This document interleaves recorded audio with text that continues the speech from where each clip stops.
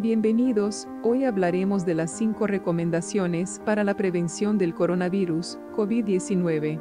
Comparta este video para que más personas estén informadas y no entren en pánico. Los coronavirus son una familia grande de virus, entre los cuales hay algunos que causan enfermedad en las personas que van desde un resfriado hasta un síndrome respiratorio grave, una forma grave de neumonía, y otros que circulan entre los animales, como los camellos, los gatos y los murciélagos.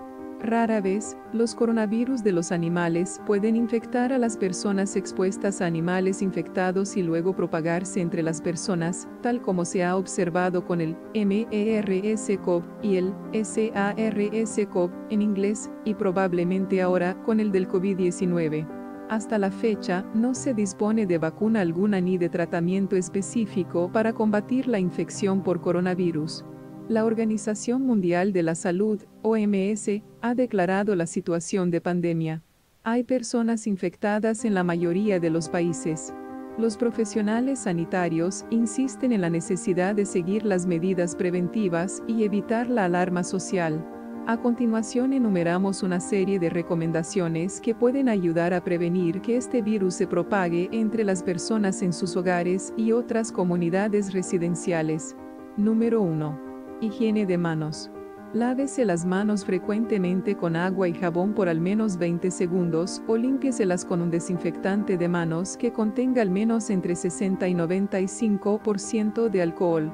Cubra todas las superficies de las manos y fróteselas hasta que sienta que se secaron.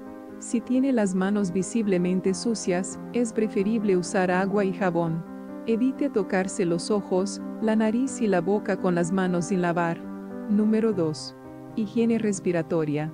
Cúbrase la nariz y la boca con el pliegue del codo o un pañuelo desechable al toser o estornudar. Bote los pañuelos desechables usados en un bote de basura con una bolsa de plástico adentro. Evite tocarse la cara y las mucosas de la nariz, los ojos y la boca. Número 3. Distanciamiento social.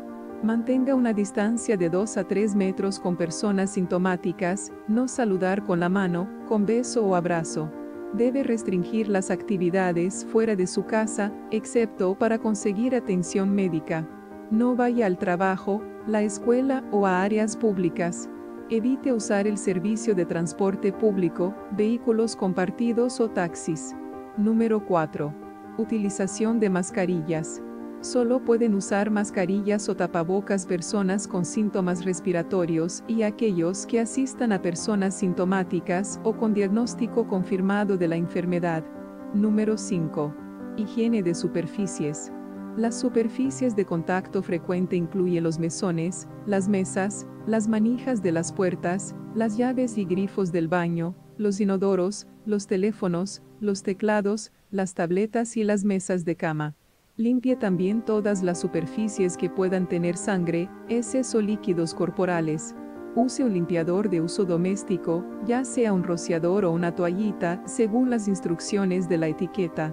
Si te gustó este video no olvides suscribirte, dar me gusta y activar la campanita. Hasta pronto y nos vemos en un próximo video.